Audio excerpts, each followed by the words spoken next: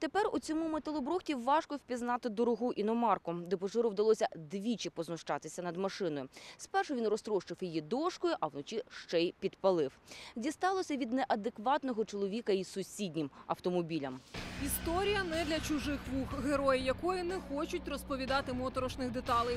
Сусіди й ті з острахом говорять тільки за зачиненими дверима. кажуть, того дня закохані з їхнього під'їзду посварилися, і хильнувши чарку, чоловік вирішив випустити пару. Він буянив той пан десь з першої ночі чи з півпершої. Він спочатку бив машини, ну, зокрема, е, цієї сусідки моєї, ось, а погрожував, що він її спалить. Була викликана поліція. Думаю, це помства особистого характеру, як мужчини жінці.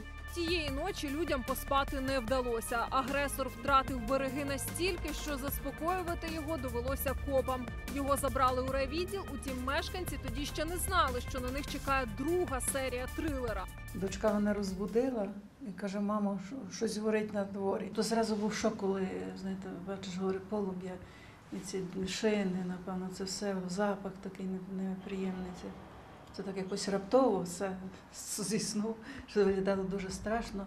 Виявилося, що у поліції хулігана просто відпустили, і він, ображений, купив бензин, облив ним автомобіль подруги та підпалив його. Загорілася й машина сусідки. Дебошир від поліції нині навіть не ховається. каже, жінка ну дуже допекла. З якої причини ви побили її машину? Катя, у нас виходила хулянка, і у мене хлоп'яли.